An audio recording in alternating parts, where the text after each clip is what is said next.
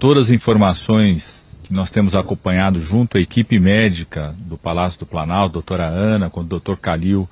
é de uma evolução extremamente positiva do presidente. O presidente está evoluindo muito bem do ponto de vista clínico, cada momento melhor, o resultado dos exames cada vez melhor, está muito bem. A decisão de não realizar a viagem foi a decisão por orientação das, da equipe médica, doutora Ana e doutor Calil, Primeiro, para que ele possa é, se restabelecer melhor, ter mais tranquilidade, mais tempo de repouso para restabelecer ainda mais essa evolução clínica. E também porque, como foi identificado ontem, é, que ele está com a gripe também pelo vírus influenza A, é uma própria orientação dos médicos e do próprio